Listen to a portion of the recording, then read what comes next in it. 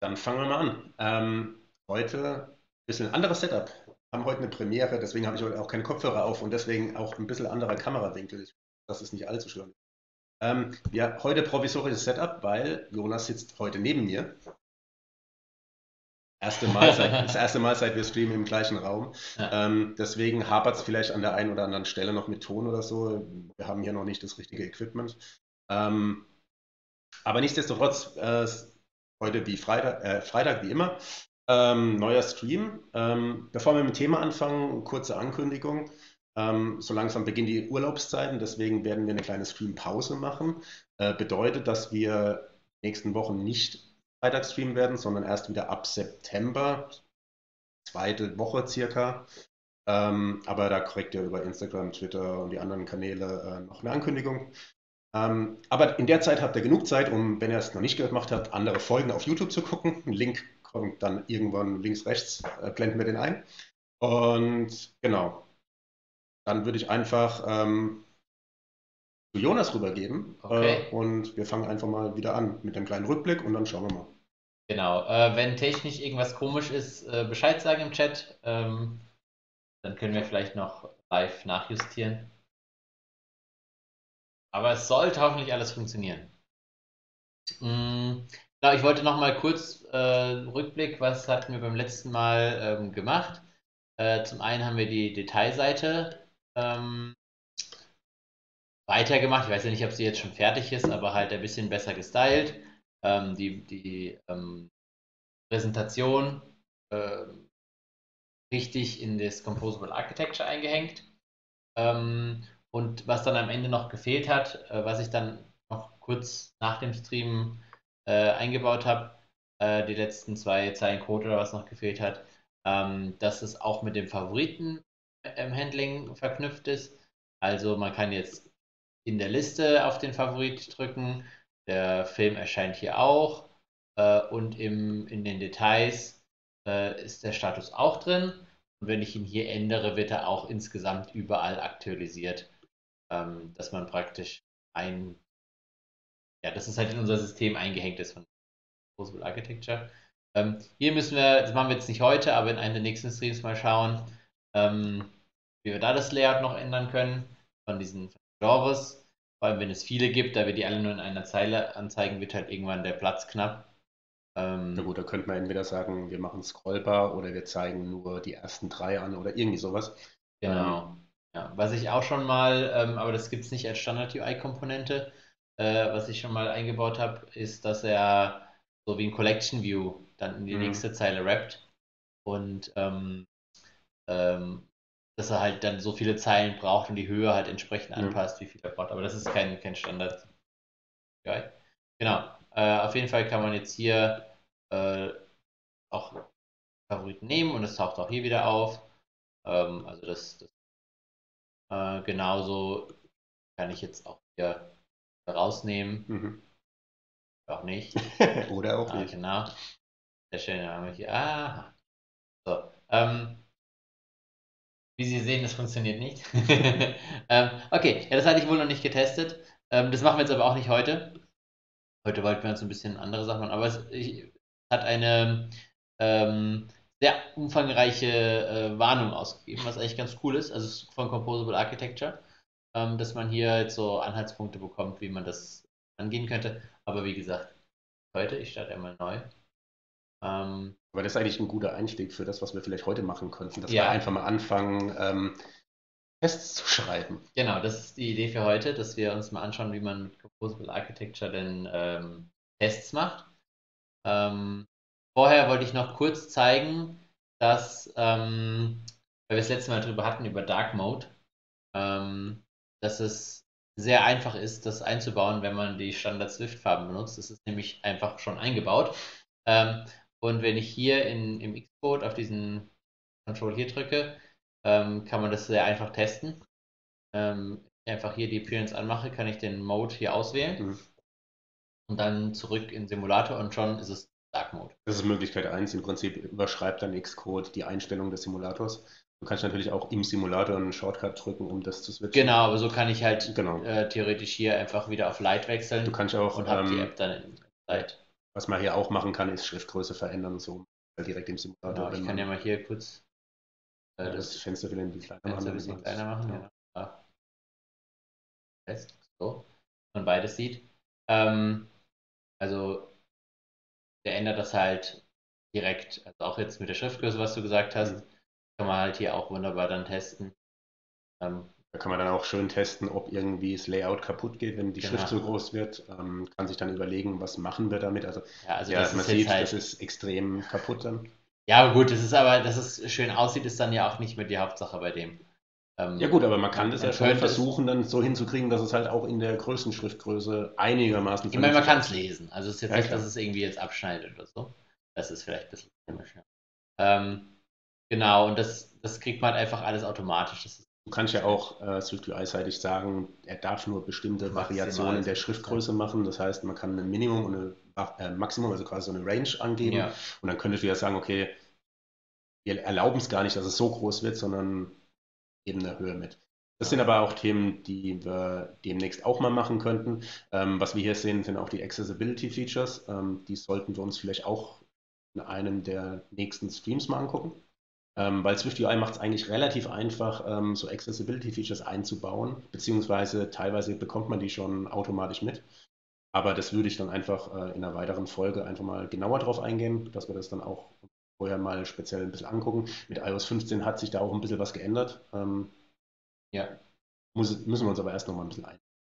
Genau, es gibt auch jetzt neuen ähm, äh, Accessibility Inspector, der funktioniert mhm. aber erst mit dem, mit dem neuen macOS was wir jetzt ja, hier noch nicht installiert haben. Ähm, ja, da werden wir dann warten müssen, bis dann wirklich die neue macOS-Version raus ist, bevor wir das dann irgendwie mal behandeln können. Vielleicht können wir dann als Accessibility auch dahin schieben, dass wenn wir die kompletten neuen Features benutzen können, dass wir es dann mal thematisieren in dem Stream. Genau.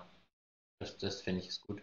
Und ja. ähm, hier gibt es auch zum Beispiel dieses On-Off-Labels. Ich weiß nicht genau, ob das die Labels sind, die man setzen kann als Accessibility. Ähm, aber das wäre auch noch. Das müssten die Accessibility-Labels genau, sein, die auf die Elemente setzen. Also die haben wir jetzt halt noch nicht explizit gesetzt, deswegen ja. erscheinen die hier. Ähm, okay. Aber jetzt zu Gut. dem. Das war jetzt quasi erst nochmal äh, kurz Wiederholung. Was kann die App schon? Was haben wir gemacht? Und das mit dem Dark Mode war, war ja, weil letztes Mal die Frage irgendwie aufkam. Genau. Ähm, ja, dann würde ich sagen, gucken wir uns einfach mal an, wie wir hier mit äh, Composable Architectures ähm, Unit-Tests schreiben oder, oder wie man das so machen würde. Genau, also erstmal die Frage, was würde man überhaupt testen? Ja. in, in dem Unit-Test. Also wenn ich jetzt mir mal die äh, Movie-Liste anschaue, äh, wir haben zum einen den Screen. Ich weiß nicht, also könnte man mit UI-Tests natürlich testen. Ähm, aber da ist erstmal ja keine Logik drin. So, das ist ja eigentlich das, der Vorteil bei der Composable Architecture, dass klar ist, wo die Logik ist. Im Reducer. Ich wollte gerade sagen, eigentlich ähm, die Logik wird ja komplett im Reducer gemacht. Nur dort, genau. Ähm, und als Input dienen halt die Aktionen. Genau. Und die dann quasi einen State Change verursachen. Genau, also der Test, und so ist es auch genau, wie es bei Composable Architecture gemacht ist, ähm, wäre so, man löst Aktionen aus. Mhm. Das ist das Einzige, wie sich der State ändern kann. Äh, und dann überprüft man, ob sich der State so geändert hat, wie man es äh, erwartet hat. Also im Prinzip so klassisches Unit-Testing. Also man hat einen definierten Anfangsstate, dann führt man halt eine Aktion aus und prüft dann danach, dass wir den erwarteten Zielzustand bekommen. Genau. Also klassisches Unitest-Schema. Genau, und das läuft halt alles, also die, die, die Code, der getestet wird dadurch, ist halt eben genau der Reducer. Ja. Äh, weil man hier genau, die Action kommt rein, State wird ähm, Genau, und wie macht man das? Ähm, dafür gehen wir mal hier in Testfile. Ähm, das ist, glaube ich, der automatisch generierte genau. Unit-Test, den Xcode im Template mitbringt. Den brauchen wir nicht. Genau. Ähm, jetzt müssen wir uns erstmal überlegen, welchen Reducer wollen wir denn testen. Kann man da den Movie-List Reducer nehmen oder einen anderen? Aber ich glaube, Movie-List ist Movie auch so das, was als erstes an, ja. geöffnet wird. Wir hangeln uns einfach mal durch, oder? Genau, ich mache jetzt einfach mal ins First, weil ich noch nicht genau weiß, was wir, was, was wir, testen. testen. Ähm, und dann können wir das ja nachher noch umbenennen. Wir brauchen jetzt erstmal Information. Ähm, also wie wir sonst, ich gehe nochmal hier zurück zu ähm, dem App-Screen, was wir hier immer ähm, reingeben, können sogar noch eins höher gehen, App, ähm, was wir immer äh, reingeben praktisch in die mhm. App, ist der Store. Also der mhm. Store ist ja das, was die ganze Sache am Leben hält, die ganzen Sachen verknüpft und die Actions an den Reducer leitet. Und so. Das heißt, was wir brauchen, ist ein Store mit dem. Mhm. Und ähm, statt einem normalen ähm, Store äh, gibt es halt auch noch den Test-Store, der dann eben genau diese, diese ähm, Funktionen bereitet. Der kommt dann quasi aus dem Composable Architecture äh, Framework quasi. Genau, so wie der Store ja auch, aber es ist halt genau. eine besondere Art vom Store. Aber der hat halt so Convenience-Methoden zum Testen quasi. Genau. Ähm, und wir brauchen auf, auf jeden Fall Composable Architecture. Mhm. Ähm, wir werden die ähm, äh, unsere App äh, Test, äh, als Testable, also das mhm. wir um, äh, als Testable brauchen, da wir unsere ganzen Reducer äh, äh, State und so haben wir jetzt nicht public gemacht in der App. Deswegen brauchen wir die, das auf jeden Fall als Testable. Und wir wollen vielleicht auch irgendwas Testable mit der Import. Ähm, genau, für, alle, für alle, die es nicht wissen, quasi, was Testable macht. Ähm, wenn ich normal nur einen Import mache, bekomme ich quasi aus einem Framework äh, quasi nur die Public-Methoden zugänglich und ähm, will ja quasi in einem Unit-Test äh, auch die Internal-Methoden testen, denen ich außen, außerhalb keinen Zugriff habe. Und mit diesem Add-Testable bekommt man quasi für den Test Zugriff auf die internen, nicht auf die privaten, aber auf die internal definierten Funktionen und Genau, und das, man will ja vielleicht auch Sachen testen, die nicht public sind. Ja. Ähm, gerade jetzt hier in der App, im App-Target will man eigentlich ja gar nicht, also warum sollte man da etwas public machen? Ist ja kein Framework.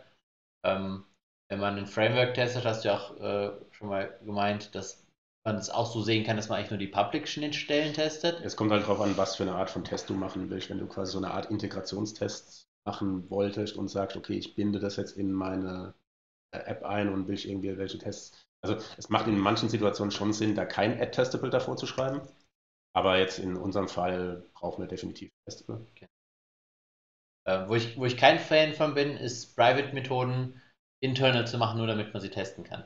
Ja. Dann nee. finde ich, dann hat man irgendwas falsch gemacht. Ich wollte gerade sagen, also ich meine, ähm, die sind ja nicht ohne Grund private, ja. die Methoden. Und ich meine, wenn die private sind, ist es halt eine interne Implementierungslogik, die nach außen vollkommen egal ist will ja quasi nur das Ergebnis testen. Also, also in einem Unit-Test will ich ja eine Unit testen. Das heißt, ich mache jetzt hier einen speziellen. So der Name her. Ja, genau. Ja. Äh, das wissen ja. viele nicht. Ja. Und ähm, mache halt jetzt einen Funktionsaufruf und wie gesagt, wir haben vorher einen State, einen gewissen Zustand und ich erwarte halt, wenn ich eine bestimmte Methode drauf aufrufe, dass es, dass es einen gewissen State verändert und weiß ja, was ich erwarte und das teste ich ab. Also quasi ich, das ja dieses typische, wie teste ich. Genau, ja. Wenn die Pri Private-Methode so lang ist, dass man sagt, da würde ich die aber irgendwie lieber so testen will, wollen, dann muss man halt überlegen, ob das vielleicht eine eigene Klasse ist oder so, indem man das rauszieht, genau. die man dann separat testet. Okay. Ähm, also ich habe auch so Ideen schon mal gesehen, dass man irgendwie, irgendwie versucht, Private mit Sachen irgendwie von außen über Extensions mhm. zugänglich zu machen für den Test. Äh, Finde ich persönlich total ja. daneben. ich meine, dann brauche ich es ja auch nicht meine, private machen. Vielleicht gibt es die, die äh, mal die Situation, wo man irgendwie nicht drum rumkommt, aber eigentlich, wenn es der eigene Code ist, dann nicht. Ich sagen, sollte man eigentlich. Ähm, genau. So, hier, der Test-Store habe ich jetzt schon mal hingeschrieben. Ähm, hat die gleiche ähm, gleichen Initializer wie der normale Store. Mhm. Ähm, ich schreibe es mal so. Also wir brauchen den äh, Initial, Store, äh, Initial State einen Reducer, den wir testen wollen und das Environment braucht er natürlich auch. Und hier ist ja der Initial State quasi den State, den ich für den Testbeginn haben möchte. Genau, also wir fangen einfach mit unserem Movie List mit dem State Standard an. State an. Genau. Und ähm, den kann ich jetzt entweder schon mit ähm, Werten vorbefüllen mhm. ähm, aber ich fange jetzt einfach mit dem leeren, so wie genau. wir es auch normal haben. Also wir haben ja, wir können ja auch mehrere Tests machen. Einmal mit genau. einem leeren, einmal ja. mit einem vorinitialisierten genau. Store. Was man jetzt ja auch sieht, äh, in, in der App erzeugen wir nur unseren App ähm, Store, mhm. der dann ähm, über das Scoping den, den Movie List äh, Store sozusagen erzeugt und den Favorite Store und so weiter. Aber beim Test können wir auch irgendwo einsteigen praktisch. Mhm. Ähm, genau, und als Reducer geben wir dann den wie ist da rein. Das ist das, was wir testen mhm. wollen, eigentlich. Also unser Subject an der Test, wie man es immer so schön nennt, ist ehrlich das da. Ähm, und als Environment brauchen wir das äh, Movie List Environment. und hier wird es ja jetzt spannend quasi. Genau, hier müssen wir jetzt halt überlegen, wie wir das machen, weil hier ist ja praktisch die Verbindung zur Außenwelt, sage ich mal. Genau. Also ich meine, jetzt wird es auch langsam klar, warum wir dieses Environment benutzen. Weil ähm, in unserer App haben wir das ja so implementiert, dass, dass die Main Queue die tatsächliche Main Queue aktuell ist. Ähm, wenn Search aufgerufen wird, triggern wir aktuell, wir können ja mal in den, in den Produktivcode quasi gehen, ähm, machen wir da quasi unseren API-Aufruf, wo wir halt wirklich die, die tatsächliche Suche triggern. Und ähm, durch dieses Environment sind wir halt jetzt in der Lage, quasi diese API-Calls oder Environment-Variablen quasi auszutauschen, speziell für den Test, weil in einem Unit-Test möchte ich ja keinen wirklichen Netzwerk-Request haben. Ich möchte keine richtige Datenbank, also nicht die App-Datenbank ja. verwenden, wenn wir eine haben. Ähm, das hatte ich auch schon mal äh, in einem Projekt, wo irgendwie wir Tests hatten, die mal grün, mal rot waren und wir überlegt haben, warum ist das so, bis mal aufgefallen ist, dass ein Test die tatsächliche App-Datenbank benutzt. Ja. Und je nachdem, wie die halt, welchen Zustand die gerade hatte, hat der Test halt funktioniert oder halt auch nicht. Und am Ende, um sauber zu räumen, erstmal alle Daten gelöscht dann. Ja, genau. Und, und da hatte man wirklich den State, dann habe ich die, die App mal wieder normal gestanden, habe mich gewundert, hä, warum sind meine Daten weg und so, weil der Test dann halt aufgeräumt hat. Ja. Ähm, deswegen, also wichtig in Unit-Tests, keine richtigen Netzwerk-Requests, keine richtige Datenbank. Das wird alles weggemobbt oder durch irgendwas ersetzt. Datenbanken meistens durch In-Memory-Datenbanken, die ja. wirklich nur für diesen einen Test gültig sind. Also solche Geschichten, das ist halt echt wichtig in Unit-Tests zu beachten. Sonst hat man sehr komische Nebeneffekte, wo man erstmal spontan oder so direkt nicht erkennt, was denn jetzt das Problem ist. Ja. Gerade wenn man nur eine Production. ja. Das wäre dann noch schöner, wenn es da, da noch da reinzieht. Ja, und es kann halt auch die Tests verfälschen, je nachdem, Natürlich, in welchem ja. Zustand halt diese Datenbank ist weil die halt jemand die App benutzt hat vorher in dem Simulator, hat sie halt keinen definierten Anfangszustand. Und ähm, deswegen ist halt echt wichtig, ähm, im Prinzip wird alles weggemockt in einem Unit-Test, bis auf die, Klasse, die Unit, die man ja. testen möchte. Genau, sonst hat man Integration-Tests. Ja. Wo man das mag auch sinnvoll sein, dass man irgendwie so mal einen ganzen Flow durchtestet. Genau. Ähm, aber das ist dann halt was, was man nicht nach jedem mitlaufen lässt. Genau, wird auch gerade im Chat geschrieben. Dann sind es ja keine Unit-Tests, wenn man tatsächlich Zugriffe macht. Genau, genau, genau. ähm, okay, eine Sache, die wir jetzt hier sieht, wir haben ähm, ja ein Debounce hier drin. Das mhm. heißt, ähm, wenn wir jetzt den Ablauf testen wollen, sagen wir mal, wir wollen testen, man gibt was in die Suche ein. Mhm. Ja, ähm, dann geht ja die Ausführung zum nächsten Schritt der mhm. Suche erst nach einer halben Sekunde weiter. Ähm, und das heißt, wenn ich jetzt die ganz normale ähm, Dispatch Queue benutzen würde, ähm, müsste ja mein Test ja tatsächlich fünf, äh, die reale eine halbe Sekunde warten, warten ja. damit dieser Debounce abgelaufen ist und ich dann äh, fortsetzen kann ja. und gucken kann, ob er dann weitermacht und mhm. sucht und so. Ähm, und das ist eigentlich ziemlich cool, was da sich die Jungs überlegt haben von der Composable Architecture. Mhm. Und jetzt kommt es halt auch zu tragen, warum wir die Main Queue da reingeben. Genau. Ähm, es gibt, ähm, mal hier. Scheduler. Also im Prinzip ist ja die, die Main Queue ist ja eine Art Scheduler, das heißt äh, quasi ein zeitlicher Ablauf. Genau. Und Sie haben hier ein äh, Dispatch Queue Test mhm. ähm, äh, entwickelt, äh, den wir jetzt hier nehmen als unsere Main Queue. Wir, wir, laufen gar nicht mehr auf der Main Queue, ja. Ähm, und das, diese, diese Test-Queue ist auch keine äh, Queue, wo die, dass die, die, die, Zeit steht sozusagen still oder wir oder haben die Kontrolle wir, über wir können Zeit. so eine Art äh, Zeitreise machen. Also genau. in dieser Queue können wir quasi sagen, wir drehen die Zeit künstlich vor oder zurück. Also wir ja. können die komplett beeinflussen. Ähm, ich meine, ich kann ja mal kurz ähm, hier schauen, darauf aufrufen kann. Ähm, kann hier eingeben Advanced by. Mhm. Äh, und dann kann ich um eine bestimmte Zeit ähm, vorspringen. Also ja. ich kann sagen, wenn ich jetzt sage, ich habe einen, einen Timeout von, ähm, was ich, einer Minute, dann könnte ich diese Minute vorspringen und dann, ja. zu, und dann so zu tun, als wäre der Timeout abgelaufen. Ja. Und muss nicht die Minute warten. Oder Okay, jetzt in unserem um mich Fall. mal kurz zu korrigieren, nicht zurückdrehen, weil macht ja auch beim Test keinen Sinn, oder? Ich, können wir auch zurückdrehen? Habe ich zurückdrehen gesagt? Also ich Nee, meinte ich halt, habe vorhin zurückdrehen so. gesagt, deswegen wollte ähm, ich gerade ich glaube nicht. Man kann nur Macht ja auch vor. keinen Sinn. Genau.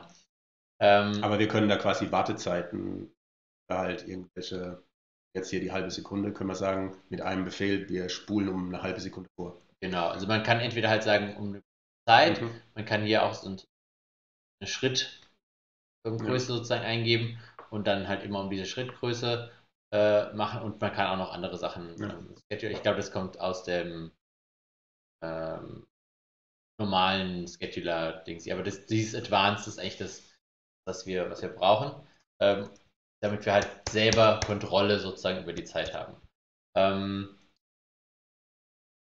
das nächste, was wir jetzt hier noch brauchen für unser Environment, ist der, Die. Closure praktisch, die sucht und Ja. die Closure, die ein ähm, Detail lädt. Mhm. Ein, ein lädt. Ähm, die, wir wollen jetzt hier nur die Liste testen.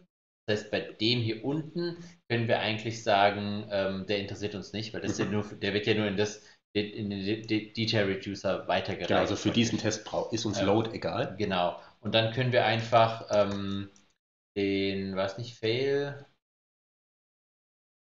Oh, ich glaube, Failure. Ja gut, entweder das oder wir können einfach eine leere Closure reingeben. Äh, Also je ja, aber wir müssen ja was zurückgeben. Wenn Jetzt, ach so, genau. Ähm, ich habe es deswegen nicht gefunden, weil äh, das ist von Combine, äh, weil wir Publisher hier Mhm, zurückgeben. Okay. Ähm, das heißt, wir müssen ähm, Combine Input. Combine importieren. Dann kann ich jetzt Failure, Fail, Ja. ist glaube ich das. Genau. Und dann habe ich einfach einen Publisher, der direkt fehlt mit dem Error, den ich Mhm. reingegeben habe. Okay.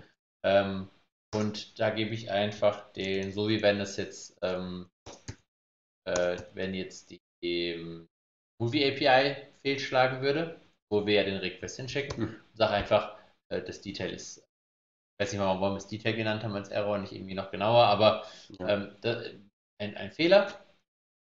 Äh, und da das ein Publisher ist, müssen wir noch Publisher. Mhm. So. Und hier ähm, brauchen wir jetzt einfach erstmal irgendeinen Publisher. Äh, nehmen wir mal hier Current Value Subject. Ähm, und ich sage jetzt erstmal leeres Array. Das heißt, Genau. egal was ich suche, wir kriegen immer das leere Array zurück. Also im Prinzip so, als wenn er bei zu dem Suchbegriff nichts findet. Genau, so.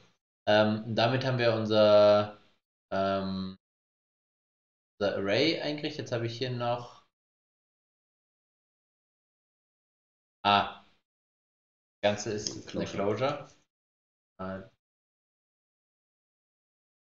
Und da es der einzige Wert ist, müsste ich, kann ich, glaube ich, den äh, Return weglassen. Genau.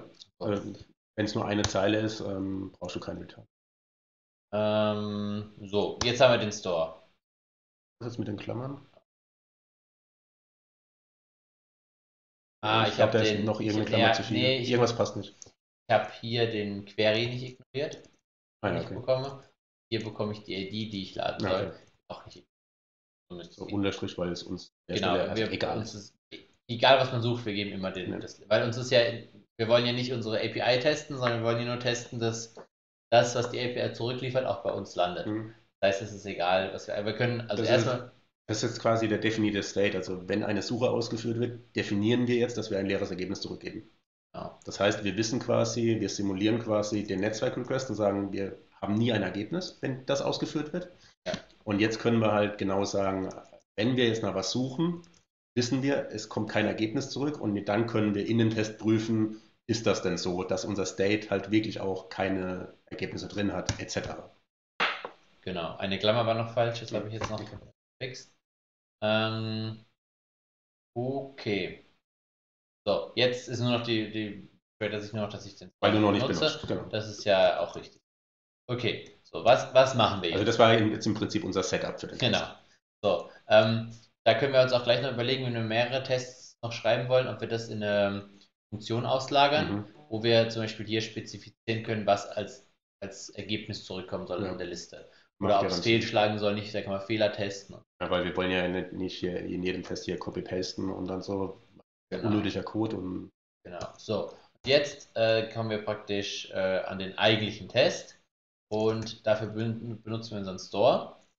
Und dem Store können wir Actions senden. Ja, Im Prinzip simulieren wir ja jetzt die UI. Das ist ja genau das, was eigentlich die UI macht. Beziehungsweise, ja, also, also einfach die, Aktionen. Es muss genau, ja nicht nur die, die UI triggern, also, also aktuell in der App wäre das halt eine User-Interaktion auf der UI, würde quasi genau diesen Send-Request auslösen für eine bestimmte Aktion. Das simulieren wir jetzt, indem wir halt jetzt ja. einfach eine definierte Aktion reingeben. Genau, also wir fangen mal da an, wo man auch, wo wir in der App anfangen würden mit wir tippen was ein quasi. Change. Da geben wir jetzt einfach irgendwas rein. Also in der App würden es einzelne Buchstaben sein, der ja. immer länger wird, aber für den Test können wir auch gleich schon den ganzen String eingeben. Mhm. Und was wir dann als nächstes machen, was wir, wir erwarten jetzt ja, dass durch das Senden dieser Aktion sich der State ändert. In irgendeiner Art und Weise. In irgendeiner Art und Weise, genau. Und diesen, der State ändert sich irgendwie. Ähm, das kann man einfach mit einer Closure hinten dran angeben. Also Aber man muss sagen, diese Closure kommt durch den Teststore. Genau, ja. Das ist quasi ein Feature, was dieser Teststore mitgibt, dass wir quasi beim Senden einer Aktion auch sagen können, noch eine Closure mitgeben können, wo wir quasi, ähm, ist das, den erwarteten neuen Zustand des States eintragen können, oder?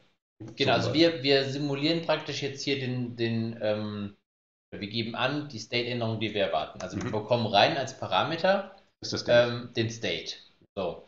Und wir müssen darauf jetzt die Änderungen machen, die wir erwarten, dass der Reducer sie macht. Mhm. Also wir sagen, wenn Search Term reinkommt mit der Action, ja. dann soll sich an den Movie States gar nichts ändern, sondern nur der Search Term soll ähm, mhm. äh, sich ändern. Und zwar nicht so, sondern einfach so auf das soll ein Test sein. Genau. genau. Also wir, wir, wir, wir, tun so, als wenn wir die Reducer ändern in State. Und zwar in der Form, wie wir erwarten, wie es mhm. funktioniert. So. Ähm, ich kann ja mal hier was Falsches reinschreiben. Dass wir sehen, was passiert. So. Wenn ich das jetzt mal ausführe, schauen wir mal, was rauskommt. Also der soll jetzt fehlschlagen, weil ich habe ja jetzt ja. hier eine andere Änderung gemacht, die ich erwarte. Also ich würde erwarten, dass das äh, Test reinschreibt. Wir haben ihm gesagt, er soll Test 1 reinschreiben. Er testet jetzt. So, jetzt haben wir hier. Zum einen gut rot. Rot, ja. Aber äh, noch nicht. Sieht, genau, aber wir haben zwei Fehler. Mhm. Äh, wir schauen uns den hier oben gleich an. Erstmal den hier unten, weil das ist der, den ich eben ja. ähm, erwähnt habe. Ähm, er zeigt mir jetzt hier an, dass der State Change nicht matcht. Hm. Ähm, hier ist auch nochmal erklärt, also Expected ist Minus und Actual ist Plus. Okay. Ähm, das ist cool. Das heißt, wir haben gesagt, wir haben erwartet Test 1, mhm. aber, aber eigentlich kam raus Test. Hat Test, okay. So. Und für die Movie States äh, passt Da haben wir keine State-Änderungen ähm, erwartet und auch keine bekommen, deswegen ist da weder Plus noch Minus. Genau, also ich muss quasi hier nur die tatsächlichen erwarteten Änderungen angeben. Genau. Und darauf vergleicht er quasi automatisch. Genau. Das heißt, ich muss keine eigenen Asserts machen. Ja. Das macht quasi der Teststore für mich. Genau, und man sieht auch, er ähm, ähm, macht das irgendwie so schön formatiert. So ein schönes Diff ja. quasi, wie, genau, wie man es aus Git und so kennt. Ja, und auch was aus dem Debug mhm. äh, rausfällt, wenn man einen ja. Debug dran schreibt. Das wird dasselbe sein, was die da intern benutzen. Ja, das, das ähm, ja schon, ja. Aber man, man, sieht halt nicht einfach nur searched failed oder so oder not true oder irgendwas, sondern halt richtig schön, was, was das Problem war. Ähm, also das kriegen wir natürlich weg, indem ich hier ähm, das zu dem ändere, was tatsächlich rauskommt. Auch tatsächlich erwarten genau, würde, jetzt sollte quasi ziemlich der State Change korrekt sein. Genau. Bevor ich jetzt nochmal baue, gucken wir uns noch das andere an. Und das ist so ein bisschen ähm, äh, vielleicht ein Problem mit unserem Setup, das wir bisher haben. Ähm,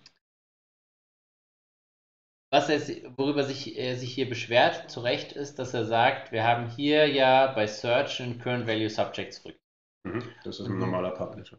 Genau, aber es ist ein, ein Long-Running Publisher. Das ist okay. kein Publisher, der nur einmal feuert und dann nie wieder, sondern mhm. solange ich nicht Completion aufrufe, auf kann dem kann ich immer wieder senden. Ja. So.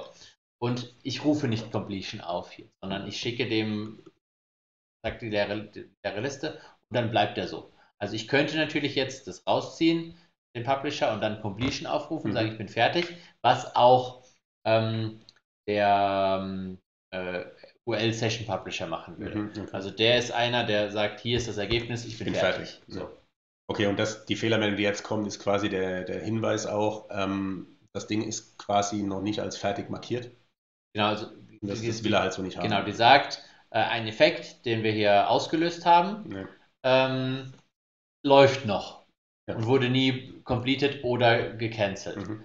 Ähm, wenn ich jetzt in den ähm, in den ähm, äh, hier in den Reducer reinschaue, so, ähm, Reducer, Screen, genau, dann sehe ich ja hier auch, dass, also das haben wir jetzt ausgelöst, das äh, Search Field Change. Mhm. Ähm, den, das haben wir überprüft, das hat geklappt. Und jetzt, nach dem Debounce, ähm, lösen wir den, den Search-Effekt aus. Search-Term. Das haben wir jetzt noch gar nicht getestet, Mhm. soweit sind wir noch gar nicht, aber der macht ja weiter natürlich, der Reducer. Ja, der hört ja nicht einfach nur auf, weil wir es nicht getestet haben. Ähm, und er ruft dann hier ähm, in, in Search, ruft er das Show Movies von unserem Environment auf. Ähm, dort, sondern hier. Ähm, und dadurch, ähm, also bei unserer Implementierung in der App, ist es dieser einmal Return Reducer. Mhm. Bei uns im Test haben wir jetzt halt einen anderen genommen. Okay, also Okay. das heißt, wir bräuchten eigentlich im Test einen äh, Publisher, der halt wirklich kein Long Running ist, sondern Also der halt ein- direkt ein- fertig einmal, ist. genau. Ähm, es gibt bestimmt einen von, von Combine. Kenne ihn noch nicht. Na gut, ich würde ja jetzt einfach mal spontan, sie machen ja alles über Effects oder so. Das heißt, ich würde mal vermuten, dass es auch irgendwie so ein Effekt Ja. ist, den du returnen kannst. Also, was wir erstmal machen können als Workaround, ähm, wir können einfach einen Effekt nehmen. Mhm. Äh, und das stellt auch so ein bisschen in Frage, ob es eine gute Idee war, in unserem Environment auf Publisher zu gehen, Ja. statt auf Effects. Ähm, weil damit mischen wir so ein bisschen. Dann, Das dann- Thema hatten wir ja damals schon, als Genau. wir gesagt haben, eigentlich müssten wir hier Effects returnen, aber äh, weiß gar nicht mehr, warum wir gesagt haben. Ah, wir haben ja gesagt, wir wollen da Wir- ein bisschen unabhängig von dem Genau, wir wollten nicht, Architecture nicht bleiben. überall das haben. Aber Genau. ich denke, wir waren einen Schritt zu, zu kurz, weil ähm, das Effekt ist halt das äh, Element, was man benutzt bei Composable Architecture, Mhm. wenn man irgendwie Seiteneffekte hat. Mhm. Und wir können ja dann immer noch nach außen den Publisher benutzen. Also unsere APIs können ja Mhm. Publisher haben. Und hier haben wir jetzt halt das Problem, dass wir nicht, also wenn wir einfach einen Effekt zurückgeben könnten hier statt einem Publisher, dann könnte ich jetzt hier einfach sagen, so und fertig. Also Return Effect Value und muss nichts tun. Ja. Ähm, und so kann ich halt nicht diesen Publisher nehmen und muss halt dann, äh, weil ich jetzt den jetzt kenne, es gibt bestimmt noch einen von Combine, ähm, das halt dann so außenrum machen. Ja. Und wenn ich das nicht über Combine gemacht Mhm. hätte, ähm, ah, Just wird Moritz, ja, ich sagen, das- Moritz das meint ist diesen Just, weil das müsste auch so ein, so ein Ist wahrscheinlich genau Dings das. sein, also einer, der Just, fertig das, ist. Genau, können wir auch mal ausprobieren. So. Dann sind wir komplett Combine. Ja. Aber wir hängen halt dann immer an Combine. Das ist halt auch nicht so gut. Wenn du jetzt ähm, zum Beispiel unser Setup, gut, wir sind jetzt in der Beta und so, Ja. aber wir könnten es halt nicht mit iOS 12 benutzen. Mhm. Wobei könnten wir eh nicht, weil Effekt ist ja auch Ja. auf Combine aufbauen. Aber ja, so. Das, Das brauchst du, glaube ich. Ja, doch, weil er Ja, gerne hätte, dass das auch einen Fehler okay. werfen kann. Also Just funktioniert nicht so ganz. weil, der Just nie, weil, weil. Just nie, nie fehlschlägt. Ja. Ähm, Dann nehmen wir doch erstmal Effekt. erstmal, und dann bauen wir jetzt, glaube ich, um, dass wir. Aber dann wäre halt die Frage, bauen wir quasi unsere Logik um, dass sie keinen Publisher mehr return, sondern Ja. halt wirklich wie in, im Framework quasi erwartet Ja. Effects. Also, Nachhinein finde ich das besser, Ja. weil wir dann sagen, okay, das ist unsere, das, das Environment ist unsere Schnittstelle aus der Composable Mhm, Architecture Welt nach draußen und die Rückgabewerte, die man bekommt, sind immer die äh, in Composable Mhm. Architecture Welt oder auch wenn man ein Model hat, speziell für einen State. Ja. Ähm, das macht dann das, äh, das Environment und von wo die Daten kommen, das sind dann andere, Mhm. was ich, unser API-Model oder Combine oder was auch immer. Ähm, und dann ist das Environment dafür zuständig, dass das richtig ist. Können wir gleich mal umbauen. Wir können ja einen Test schreiben, Ja. dann bauen wir es um und gucken, ob der Test noch. Ich wollte gerade sagen, das, das soll ja dann grün bleiben. Da können wir dann Das- das sicherstellen, dass wir alles quasi ja. nichts verändert haben. Genau. Okay, aber wenn wir jetzt mit Effekt starten und das kein Long Running ist, dann müsste der Fehler ja jetzt weg sein. Gucken wir mal.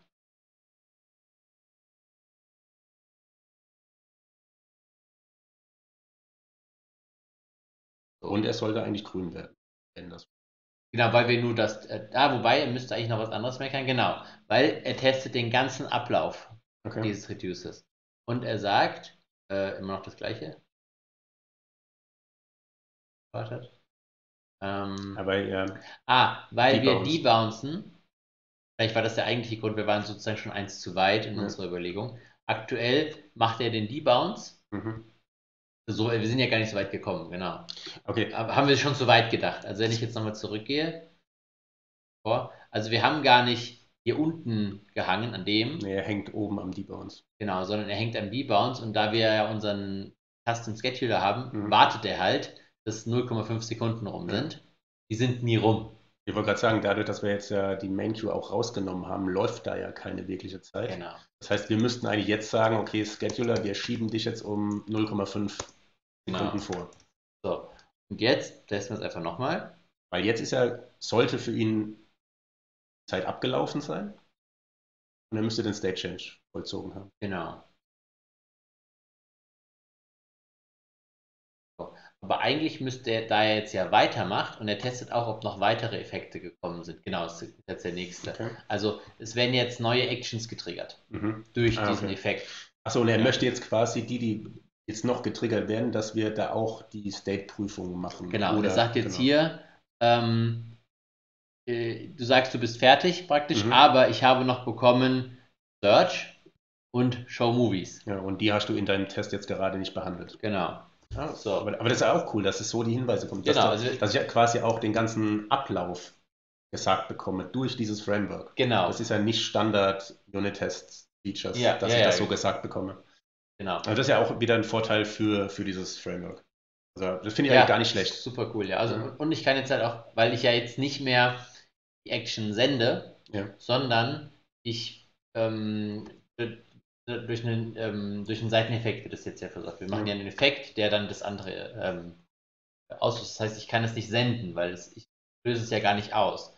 Okay. Aber es gibt dafür noch ähm, Receive und ich kann auch nochmal das Receive mit ähm, dem, dem, Update Closure, wenn ich, okay. wenn ich, wenn ich, wenn was ändert in dem äh, bei der Action. Okay, das heißt, du müsstest jetzt ein Receive machen und jetzt quasi die Action angeben, die, die ich erwarte, sagt, die, nicht gehandelt die, die ausgelöst wird. Okay. Genau, also ich, ich weiß ja, nochmal zurückgehe in den äh, User hier, ähm, wenn, ich, wenn sich das Eingabefeld mhm. ändert und es sind 0,5 Sekunden rum, ja.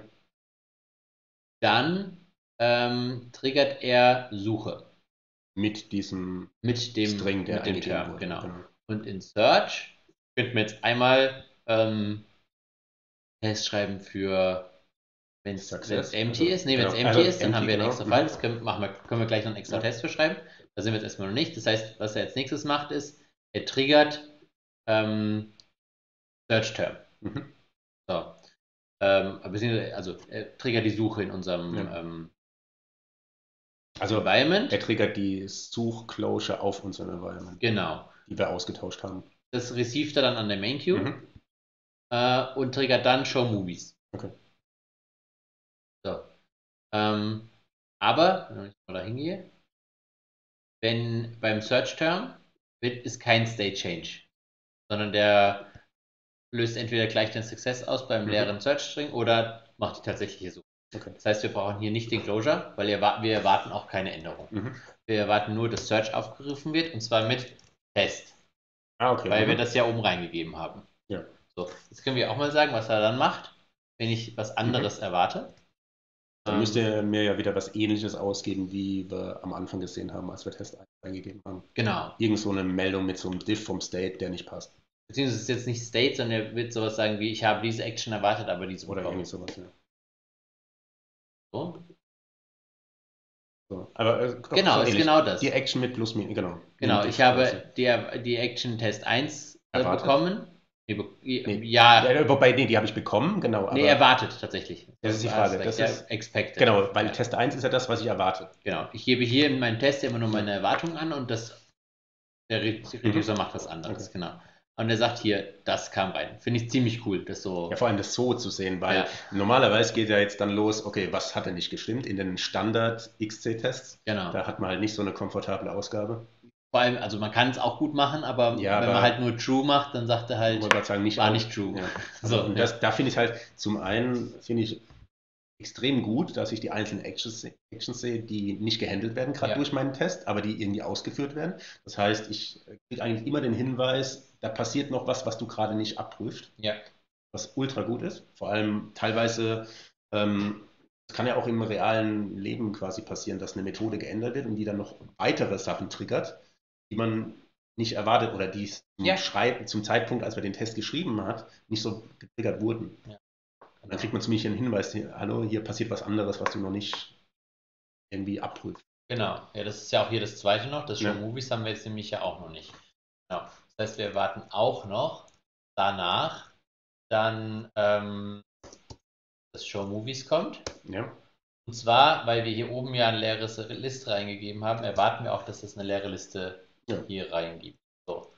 Und wir erwarten, dass er äh, die Movies auch auf leer setzt. Auf die leere Liste. Weil das haben wir ja so implementiert in der, also das ja gut, also. Weil wir könnten ja auch sagen, wenn er schon mal eine Suche ausgeführt hatte mit Ergebnissen, ja. dass wir die einfach lassen. Also könnte ja passieren, rein theoretisch. Ja. Aber wir erwarten halt, wenn das kein Ergebnis liefert, wollen wir auch eine leere Liste haben. Genau. Ich habe es jetzt hier Und, ähm, falsch Genau, Moritz schreibt gerade im Chat, ähm, ob es sinnvoll wäre, den Suchbegriff quasi hier Test in eine Variable auszulagern. Ähm, ja, dann wäre es rein vom Testschreiben weniger fehleranfällig, weil ich nur eine Stelle ändern müsste. Ja, ähm, ich finde, kann man, ähm, wahrscheinlich hier könnte man das machen. Also ich mag es gern beim Test, das hinzuschreiben, weil es ja offiziell verschiedene Eingaben sind. Mhm. Also es ist, äh, bei, bei Structs ist es eh egal, weil es ähm, eh bei Value ist. Ähm, aber das ja, ist ja praktisch die Eingabe im Suchfeld gewesen. Und das andere ist Dann das ist, was ich im State reinschreibe. Ja. Äh, und das ist dann, was zur Suche geschickt wird.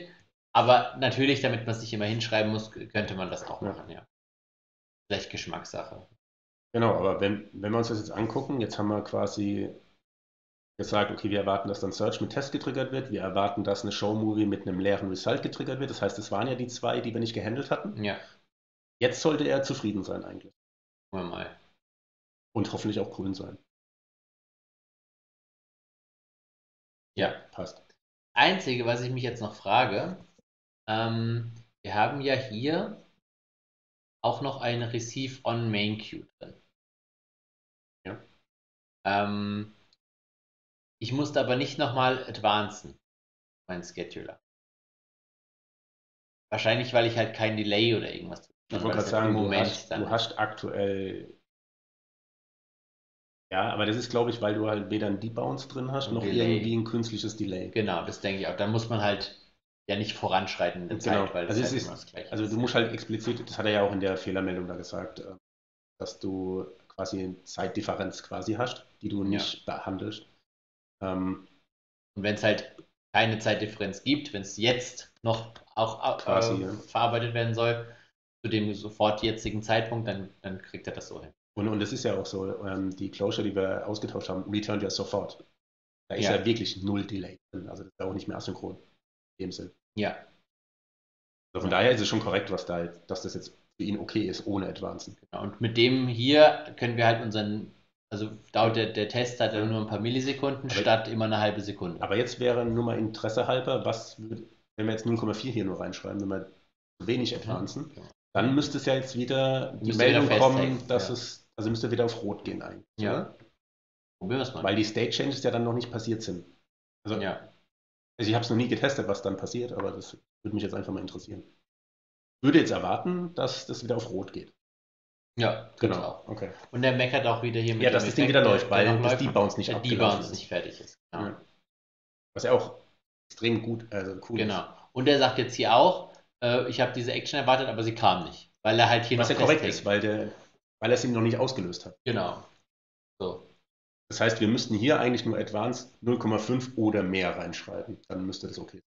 Also wenn ich jetzt 0, äh, jetzt als Beispiel, so, ja. können wir ja mal kurz testen. Wenn wir einfach mehr als 0,5 reinschreiben. Eins. Einfach nur mal, und das müsste ja für den Test gesehen okay sein. Ja. Weil der Deep Bounce ist abgelaufen. Ja. Und die State Changes sollten getriggert worden sein. Ja.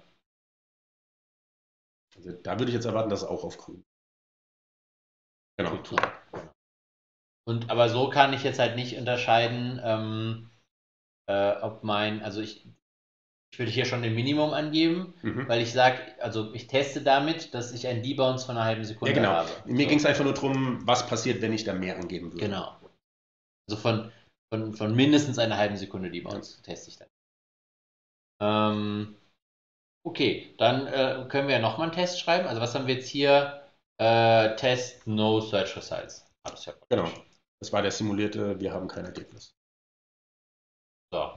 Ähm, was wir jetzt gesehen haben in der Implementierung, dass wir eine Änderung drin haben, wenn der Search-Term leer ist. Das heißt, wir könnten jetzt einen Test schreiben, wo wir einen leeren Search-Term reingeben, um halt diesen, diese Verzweigung zu testen, yeah. dass wir die auch in einem Test durchlaufen. Hm? Wäre ein möglicher zweiter Test. Äh, bevor wir das machen, würde ich ein ähm, Create, Create Environment machen. Achso, dann will ich das Environment auswählen. Ja, dass ich das wieder ja, benutzen kann. Äh, und dann wollen wir hier ähm, ähm, eigentlich Movies. die drei. Ja? Wir brauchen eigentlich nur, was wir, was wir für Movies zurückgeben. Ja, und rein Theo. Also ich fange jetzt erstmal ja, an. Ja, du müsstest dann halt den Scheduler rausziehen, damit du ihn oben aufrufen Ja, stimmt, kannst. den muss ich hier, aber den. Oder du gibst ihn mit rein in die Methode. Will ich jedes Mal neuen? Ist die Frage, ob man ja unterschiedliche Scheduler haben möchte in verschiedenen Tests. Erstmal wahrscheinlich nicht. Wurscht eigentlich. Ne? Ich kann den eigentlich global. Das heißt, du könntest für die Test Testklasse das global definieren. So. Genau, da wo Scheduler steht. Den macht er automatisch, den muss ich returnen. Ähm, da wir jetzt aktuell. Da es nur eins ist, müsstest du noch nicht mal Return dazu. Äh, Und du musst natürlich der Funktion angeben, dass sie ein Environment so. returnt. Das war die Fehlermeldung. Ja, also Return ist hier nicht notwendig, weil wir nur dieses. Ja, ich weiß immer nicht, wie, ob ich es gut finde oder nicht, mit also, Return weglassen. Aber, also, also in der Closure. Mir gefällt es sehr gut. Also ich mache das grundsätzlich so, wenn. Also geht. der Compiler meckert ja auch. Also ich schreibe da nie einen Return hin. Also so könnte ich ja, okay. auch testen, wenn ja. du es wenn dir einfach machen willst. Ja. Und wenn der Compiler meckert, schreibst du halt einen Return dazu. Aber die Faustregel ist eigentlich, wenn da mehr als eine Anweisung drin ist, musst du einen Return benutzen. Ja, das, das sowieso, genau. Ich, ich, das ist eigentlich irgendwann. Also ich finde es in Closure äh, gut, weil dann sparst du dir einfach halt, kannst es kompakter mhm. schreiben, auch so Map und Filter und so. Ich finde es äh, auch in Computed Properties und so ein Kram. Kann es ja auch sein, dass ja, du, dass du nur genau. eine also Anweisung drin hast. Die, kann, die Computed Properties kannst du theoretisch auch in eine Zeile in geschweifte Klammern. Genau. Hier, wenn ich hier so einen großen Klumbatsch habe, ähm, weiß ich halt nicht, ob also ja. Ja, das ist wieder persönlicher Geschmack, genau. sage ich mal. Ähm, ist ja aber auch beides okay. Ja. ja. Äh, äh, irgendwas passt noch nicht.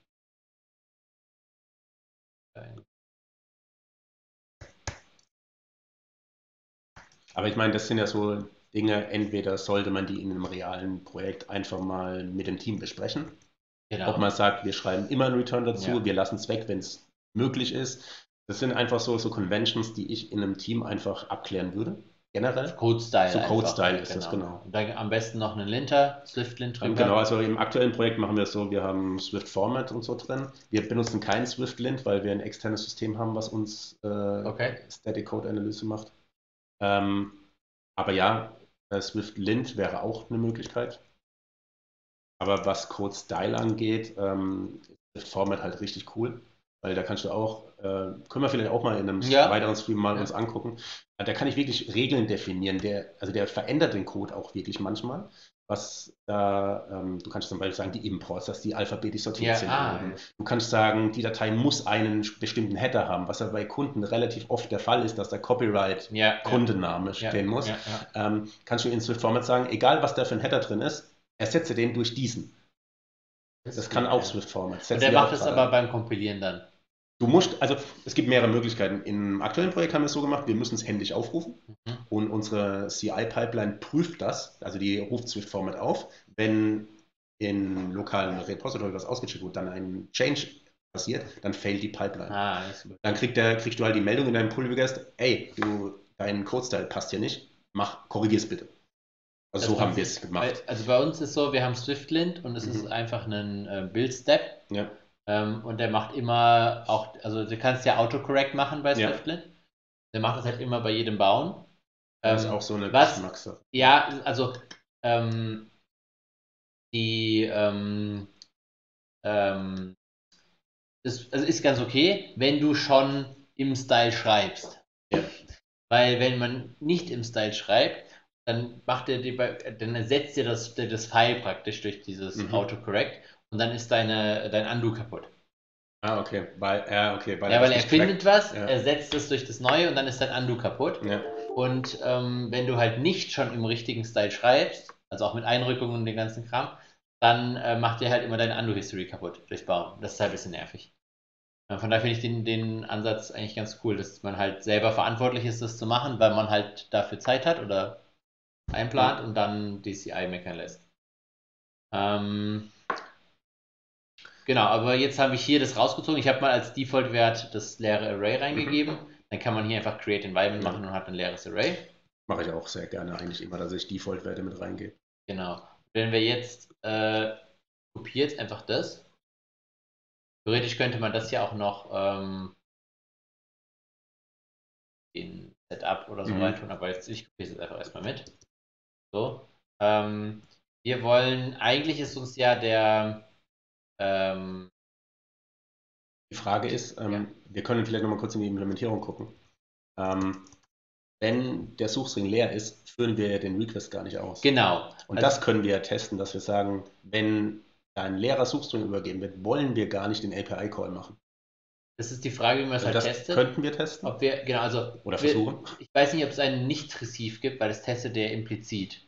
Ja, weil ähm, genau, aber du, Also- aber Der Test, genau, der Test wäre ja eigentlich so wie vorher. Ja. Ja. wir geben, achso, wir geben leer nichts ein, genau. Wir erwarten, dass nichts da in der Search stellen Ja. wird. Wir, ge- wir überspringen unser Debounce. Ja. Das hier erwarten wir nicht. Ja, die Frage ist, wo wir. Wir machen aber in der Search, glaube ich, die Prüfung. Von daher würden wir es schon erwarten, dass die aufgerufen wird, oder? Äh, Oder machen wir es vorher? Nehmen wir mal uns vorher. Nee, das ist die Search. Wir machen es in der Wir, Search. wir gehen in die Suche. Ja, das ist natürlich Das heißt- schwer zu testen. Also eigentlich könnten wir ja, also was wir jetzt umbauen könnten, dass wir sagen, ähm, wir returnen da einen anderen Effekt vorne dran, in der Search Field die Change, dass wir es da prüfen, ist es leer und dann triggern wir einen anderen Effekt. Dann hätten wir den Fall, dass wir die Suche gar nicht ausführen, Ja. wenn leer. Das wäre eine Möglichkeit. Oder wir testen jetzt einfach, okay, wir erwarten, die Suche wird ausgeführt, aber ähm, ähm, mit einem anderen State Change, glaube ich, war es. So. Ähm, was wir ich glaube, wir müssen einen, ähm, mit den normalen Asserts arbeiten. Oder sondern was. in unserem Environment sagen, wenn das, also wir, ähm, wir, kann man not called aufrufen, das ist natürlich auch wieder so ein bisschen blöd, weil Ja, du musst eher, du musst eher andersrum machen. Du musst quasi, ähm, muss mal gucken mit dem mal XC-Test. Ähm, es gibt Frameworks, wo du dann verifieren kannst, dass quasi auf einem Mock-Objekt bestimmte Methoden nicht aufgerufen Ja. werden oder die Anzahl, wie oft es aufgerufen wird. Ob man das so ohne diese Frameworks wird es, glaube ich, jetzt. weil es ist halt, also ähm, ich ich kann hier keine so- Cert reintun, weil es Ja. wird ja nie aufgerufen. Ne, genau, das würde nichts bringen. Äh, doch, ich kann eine Cert mit äh, Fa- Fail reinmachen. Genau, du könntest sagen, Wenn okay, es nicht failt, stimmt, dann, du könntest ja, sagen, wenn das aufgerufen wird, dann faile. dann brauche ich was so ein hier bisschen andersrum an die Sache rangehen Ja. wäre. brauche hier aber noch eine ähm, Variante von dem Environment-Ding, wo die, äh, ich äh, die Closure reingebe, praktisch das, damit ich den Assert reintun kann. Okay. Ähm, Query und wir geben zurück einen, ähm, genau, wir geben zurück Movie. So, also wir, wir machen jetzt nicht wieder den Publisher äh, Mhm, mhm. Hier, sondern der Closure nimmt einfach äh, einen, einen Query und gibt Movies zurück. Mhm. Den tun wir hier rein.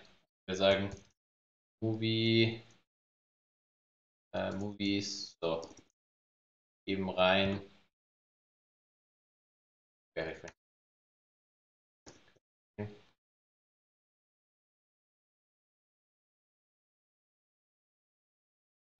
Also wir sagen praktisch, ähm, wenn gesucht wird, Mhm.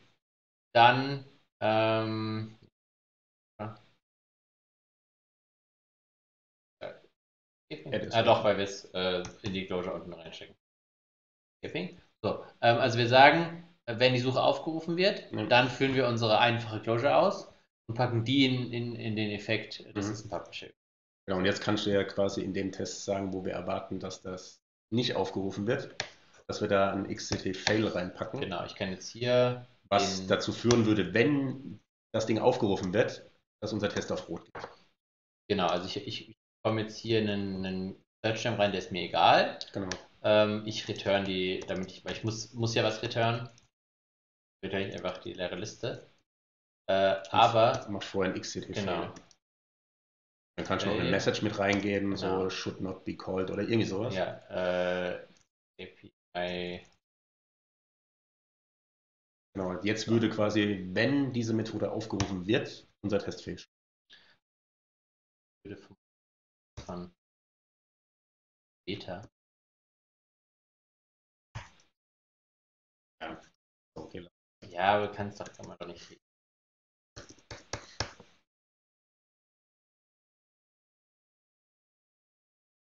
Genau, wir können es ja jetzt mal testen, dass wir jetzt im ersten Schritt da mal einen Suchbegriff doch reinpacken, um zu sehen, dass der wirklich fehlt, wenn da eine Suche ausgeführt werden soll. Genau, also wenn wir jetzt tatsächlich was suchen, dann würde ich jetzt erwarten, dass jetzt ein XD, dass das XTD-Fail ausgelöst wird. Einfach mal, also ich habe es immer ganz gern, Test ist erstmal rot, ja. Ja, weil, also, weil schon kann, es gibt auch Tests, die sind immer grün. Ja. Also deswegen sollte man wir wirklich müssen, bei Unit-Tests immer so vorgehen, genau. einmal sehen, dass er wirklich rot ist. Wir, wir müssen sicherstellen, dass es, wenn die API aufgerufen wird, auch wirklich da reingeht. Genau, und das sehen wir gerade passiert. Genau, hat, hat funktioniert. Okay. So. Damit haben wir jetzt einmal sichergestellt, dass das mit dem XCT-Fail funktioniert. Genau, also wenn wir einen Suchstring reingeben, geht der kaputt. Genau. Und wenn wir jetzt nicht diese extra Logik hätten im Reducer für den Empty String, würde er jetzt auch wieder kaputt gehen. Aber wir haben ja die Logik, dass er dann nicht den API-Request macht, sondern direkt zu dem Success geht. Genau. Man es vielleicht auch hätte so ähm, durch die Hintertür testen können, man returnt eine, einen Movie in der Liste Mhm. Ähm, und sagt aber, ich receive die leere Liste. Das ja, wäre aber so. Aber das ist eigentlich nicht das, so was du da gerade testest. Ja, genau. So ist es besser, weil ja. jetzt ist das, du stellst sicher, dass wenn du erwartest ja, dass diese Methode nicht ausgelöst wird. Und so stellst du sicher, dass es wirklich der Test korrekt genau. reagiert, wenn das passiert. Also ich würde es eher so machen, als dieses hintenrum, ja, was zum Schluss vielleicht in, in zwei Monaten keiner mehr versteht, genau. warum das so gemacht wurde. Was wir jetzt eigentlich auch sehen müssten, ähm, Doch. Die Coverage? Ja, die muss, muss erst mal gucken, ob es im Scheme aktiviert ist, dass er es sammelt. Also, ähm, oh. wenn ihr Coverage in Xcode anzeigen wollt, müsst ihr einmal sicherstellen, dass das Scheme, da gibt es einen Haken ähm, bei Test. Ähm, genau, macht es nämlich gerade nicht ganz unten, Code Coverage. Mhm. Da muss ein Haken drin sein, dann könnt ihr angeben für alle Targets oder nur für bestimmte. Wenn ihr jetzt ein, ja gut, bestimmte, dann musst du jetzt das Target angeben, was du die Code Coverage sammeln willst. Das kann man ja mal machen. Gleich schon gleich eingeben? Ja, das sind ja quasi unsere ganzen ja, Targets. Also eigentlich hätte ich auch All-Targets sagen. Egal. Ich weiß nicht, weil er hat ja auch die ähm, Swift-Packages aufgelistet. Ja, die. Nicht das, also, Frage, ja. Aber wir wollen die beiden. Ist okay. Genau, das ist Punkt 1. Und dann musst du noch äh, bei Xcode, bei der View, kannst du sagen, äh, ich glaube oben bei Editor oder so, dass es halt auch wirklich anzeigt. Ja, okay, jetzt, ich würde jetzt erstmal die Oder Tests führ's mal aus, jetzt sammelt er zumindest die Coverage, die bei uns natürlich jetzt verschwindend klein ist. Ja, aber also ich wollte testen, wenn wir den, äh, dass er halt diesen Dass er in, Part in den Zweig reingeht. Auch ja. noch hat. Dass er auch mal gesehen hat. Genau.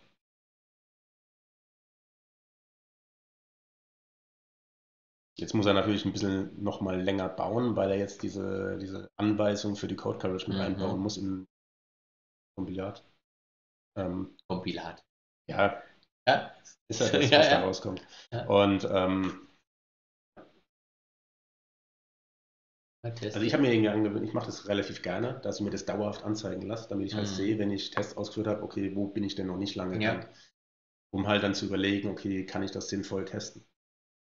Weil im Prinzip durch Unit-Test, das Ziel ist ja, alle Verzweigungen von dieser Unit abzuprüfen. Ja. Also, das, das wäre eigentlich genau. das Standardziel.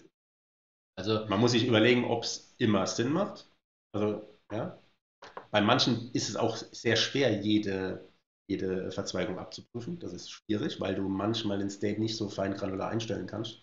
Oder manchmal will man es auch nicht. Also so ein super Edge Case, gerade die sollte man vielleicht testen. Ja. Ähm, also ich bin jetzt hier auf den letzten Reiter gegangen, habe hier Coverage ausgewählt, dann sehe ich jetzt diese beiden Targets, die ich gesagt habe, die ich testen will. Klar, den testen haben wir noch keine Tests für. Ähm, und jetzt sehen wir hier die verschiedenen ähm, Files. Äh, die Screens, klar, die testen wir nicht. So. Aber wenn ich jetzt hier in Movie List Core gehe, äh, okay, reinspringen. Genau, seitlich sieht man es schon. Genau. Ähm, neben dem Scrollbalken ist quasi diese roten Bereiche. Das zeigt jetzt quasi an, die Tests, die jetzt ausgeführt wurden, sind durch diese roten Bereiche nicht durchgelaufen. Genau. Ähm, die grünen Bereiche wurden durch mindestens einen Test ausgeführt und die Anzahl gibt quasi an, wie oft man an dieser Stelle vorbeikam durch die Tests. Das heißt, das, was er gerade markiert hat, oder jetzt, ähm, da kam er jetzt durch die Tests zweimal vorbei an dieser Codezeile oder an diesem Block. Und hier dreimal und ja. Weil ich das irgendwie komisch finde, die Zahlen, muss ich sagen, weil warum ist er hier wir haben ja nur zwei Tests ausgeführt, also warum ist jetzt dreimal, dreimal durch? Ja, aber es kann sein, dass er intern durch State Changes, durch die Publisher und so ja, eventuell da mehrfach ja. irgendwie. Aber was, was, was wir sehen, ähm, er, wir, wir waren noch nicht im Detail. Genau. Also diese Closure wurde noch nicht. Aber noch das war ja zu erwarten, dass ja, das nicht aufgerufen genau. wird. Genau. Und wir haben ähm, den Map noch nie aufgerufen. Das ist das, was, was ihm hier fehlt, denke ich, weil hier rein sind wir ja schon in Show Movies. Ja, aber immer aber mit einem leeren immer mit Array. dem leeren Array. das heißt, ist passiert in der Map durch. Nichts. Genau. Und was wir noch gar nicht hatten, ist, wenn das Movie, der Movie Request fehlschlägt. Genau. So. Und das ähm, wäre quasi jetzt noch sinnvoll, dass wir einen Test schreiben, der quasi eine Failure verursacht. Ja. Um diesen Block hier abzuprüfen. Ja. Ähm, genau, und so kann man sich halt durch, durch seine Klassen durchhangeln und gucken, okay, was habe ich schon getestet, was ist noch nicht getestet und was sollte ich testen. Genau. So. Genau, aber ähm, jetzt nur mal, weil ich auf die Uhrzeit gucke und wir wieder so quasi an unserem Limit ja. langsam wieder sind, ähm, würde ich sagen, für den ersten Einblick, wie mache ich Unit-Tests mit dieser Architektur, ähm, reicht es, glaube ich. Ich ja. denke, das Prinzip hat man im Groben verstanden, wie es funktioniert. Es ist sehr einfach aufgebaut und auch gut zu benutzen. Ja, da ist, also im Vergleich zu äh, letzter Woche, wo wir irgendwie die Favoriten eingebaut haben, mhm. wo ich gesagt habe, ich finde es extrem kompliziert, ja. wie man es einbaut, ja. ähm, hat man jetzt den Vorteil, dass der Test dann relativ einfach wird. Das ist, die Favoriten ist, glaube ich, auch so mit das, das Schwierigste, was du ja. einbauen kannst, weil wir halt über fünf States verteilt und fünf Screens verteilt und das selber irgendwie synchron halten wollen. Ähm, bevor wir jetzt gleich zum Ende kommen, würde ich kurz noch im, im, im Chat fragen, ob es noch Fragen gibt oder ob noch, noch irgendwas zeigen sollen, weil wir immer dieses ähm, Delay drin haben, dass man da kurz noch, auch noch drauf eingehen kann.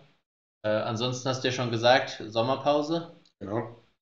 Bis September. Also ja, genaue Woche wissen wir noch nicht, aber wahrscheinlich so zweite oder dritte Septemberwoche, denke ich mal, sind wir wieder da. Ja. ja Urlaub. Da muss auch, da mal, muss sein. auch mal sein. Genau. ja, und dann ähm, haben wir jetzt ja auch schon ein paar Themen äh, immer im, im ähm, erwähnt, die uns so einfallen, die notieren wir immer, also so wird es dann auch weitergehen. Ähm, genau, und wenn jetzt äh, wirklich keine Fragen mehr sein sollten, würden wir hier, glaube ich, jetzt auch Schluss machen und uns für die in, quasi in unseren Urlaub verabschieden, mehr oder weniger. Ja. Muss ich muss noch ein paar Tage, ich glaube, du hast schon ab ich nächster Woche. Letzter, ja, genau. genau. Okay. Chat hat keine Fragen oder traut sich nicht? Doch, ja, es, es gibt keine Fragen, nur genau. ein, ein, ein, ein, Wunsch für die Ferien. Sehr schön. Dankeschön. Genau. Und ja, dann wünsche ich euch schönes Wochenende und bis zum nächsten Stream in ein paar Wochen. Macht's gut. Ciao, ciao. Ciao.